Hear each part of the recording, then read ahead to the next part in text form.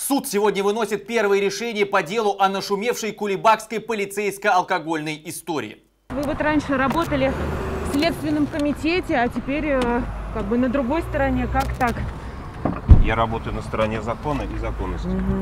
По поводу крепкого и хмельного, почему раньше не обращали внимания на это заведение? До того, как мы приехали в Кулебаки и начали вот эту серию Господа, репортажей. Э, Правомочные органы вам дадут все пояснения, да?